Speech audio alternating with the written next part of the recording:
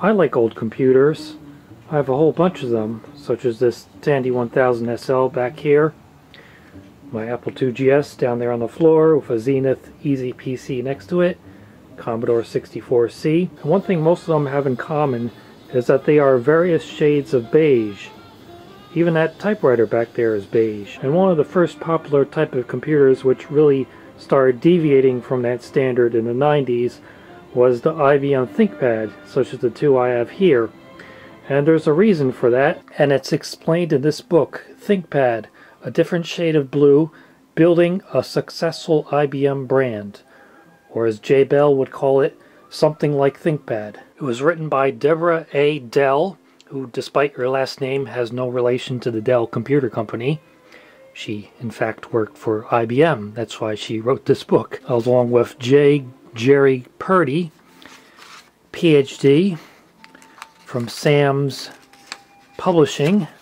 And it's a pretty good book from the year 2000, but it's definitely not light reading. It's 500 pages and 30 chapters. But if you like ThinkPads as much as I do, it's definitely worth reading. I doubt it's available in ebook format anywhere, but you can still get it on Amazon. As of the making of this video, used copies are going for about $17. And the writing style is a little bit odd. It's not necessarily chronological, it sort of jumps around a little bit. And each chapter contains a lot of lengthy quotes from various people involved with IBM and the development of the ThinkPad. And at the end, the two authors provide their insights, which is not always an exact summary of what was just talked about in the chapter. It's kind of odd that they wrote the book. Why do they need to have a separate section for their insights? I don't know, but there's still a lot of very useful information in this book, including the subject at hand of this video, as discussed on pages 174 and 175. It starts out with a quote from Tom Hardy, which was a corporate manager of IBM's design community. And it also includes uh, individual from IBM's Japanese design department. And I'll have to quote this at length, but it's only two pages, more or less, so I hope the authors won't mind. Starts out here, although the ThinkPad's smart all-black color and overall industrial design seems so natural today, it was a big issue in the early 1990s. According to Hardy, despite the fact that within IBM long before ThinkPad, black and colors other than gray and off-white had been used on typewriters and large computer systems, this had changed. In the late 1970s, Germany initiated workplace standards that required light value colors on office computing equipment. These standards were soon picked up by other European and Scandinavian countries. Then during the 1980s, any offerings other than gray and off-white were virtually eliminated across the computer industry because of cost and the European workplace standards. During the 1980s, human factors scientists debated the validity of the initial German research premise, although the standards remained. Considering that color was a very important design element, we knew that in order to differentiate IBM products, we needed to break away from the dogmatic gray and off-white syndrome. And then talk about how they did a design study to look into those European standards which required light value colors. And the final report concluded that although some aspects of the standards were valid and necessary, the aspect of light value product housings was not except where glare was concerned. I believe one of the factors was that those old typewriters often had a lot of chrome parts on them, and the bright lights in an office would reflect off the chrome parts and shine into people's eyes and cause eye strain. And that was one of the main factors in these European standards, which required light colors. And Mr. Hardy says, We pursued our strategy to introduce black on new mobile products, as well as to consider black and other colors across varying IBM product lines. He says, although we had credible data, I knew that we were in for a debate with the IBM Germany Standards Authority. He says, I asked Yamazaki to add a pebble gray color option on the ThinkPad drawings that would meet German standards. And they actually did make some ThinkPads in that gray color for Germany. There's a few photos of them online, especially the ThinkPad 720. And he says there was a lot of pressure to make the entire product line pebble gray to increase the volume of standard gray parts and reduce the cost.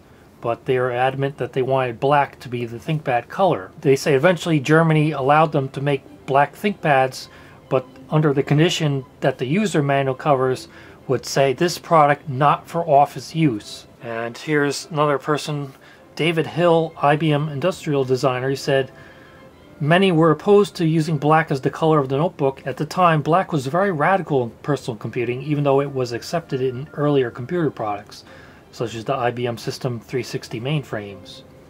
But personal computers weren't black at the time. That's because we wanted to make PCs fit naturally into the office so they wouldn't be noticed. So we made all of them pearl white, a sort of cream color that no one would notice. But then along comes the ThinkPad and we wanted to make a bold statement that was just the opposite. We wanted everyone to notice it, so we adopted black. A lot of people objected to our using black as the color of the ThinkPad, thinking it wasn't IBM, but eventually everyone saw it as something that would really differentiate IBM. It's kind of funny, they start talking about the PC Junior and its chiclet keyboard, and they basically say they didn't want to repeat the mistakes of that keyboard when they were designing the ThinkPad's keyboard. But nonetheless, that's one of the main reasons why old computers were almost always shades of beige and white and gray because of Germany's workplace standards that required light value colors in office computing equipment. And rather than make separate computer case colors for Germany, they just decide to make all their computers meet that standard. And as Mr. Hill wrote, they also wanted the PCs to fit naturally into the office so they wouldn't be noticed. And that's one of the things, if you look at old TV shows from the 80s, the computer is usually in the background somewhere. It's not usually on the person's desk facing in front of them. They usually have it off to the side somewhere. And it's usually not even turned on. That's why they wanted old computers to fit into an office design scheme so it wouldn't stand out so much until IBM decided to make a laptop that people would notice. Now to be fair, Apple did introduce their dark gray PowerBook series before the ThinkPad. In fact, I think IBM may have took some inspiration from them to offer a dark color laptop with a splash of color on it in the logo. Another thing you may have noticed is that old computers often had a red power switch, or in the case of this Tandy 1000 SL, a red reset button. But around 1989, 1990, they changed it to white. Now, I don't have a source for this, so you have to take it with a grain of salt, but I remember reading it was because of a government regulation that required that red buttons and switches could only be used for emergency purposes such as an emergency stop or emergency exit.